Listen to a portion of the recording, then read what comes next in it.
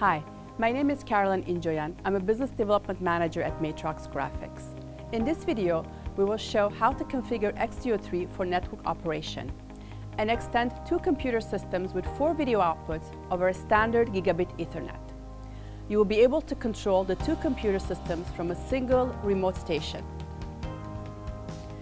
We will start by setting up the transmitter unit and connect the four video outputs of the workstation to the video inputs of the Extio transmitter unit using DisplayPort cables. Next, we connect the audio out of the system to the line in on the transmitter unit. Now connect a USB 2.0 cable from your system to your transmitter.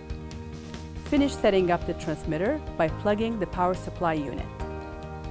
Once the first system and transmitter unit are ready to go, repeat the same steps with the second system and transmitter unit. Now let's begin setting up the receiver.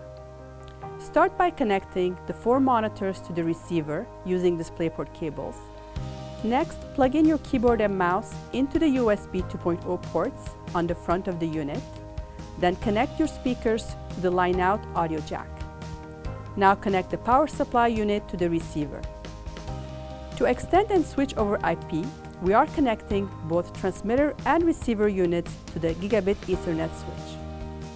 Once the connections are made, power on all the units and the systems.